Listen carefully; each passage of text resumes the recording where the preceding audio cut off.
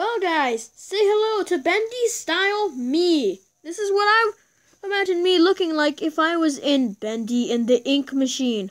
Now, once again, this was inspired by Awesome Foxy. Uh, no, not Awesome Foxy. Super Foxy 101. Now, he's an awesome guy. He's pretty cool. Actually, I like his drawings. He's catching to get 100 subscribers. That's pretty cool. And right now, I think this is very awesome. Ugh. And I asked him if I should draw the whole Foxy squad in Bendy style. And I'll see what I can do. Yeah! Also, guys, I just realized this a few seconds ago. Mobizen is working! Yes!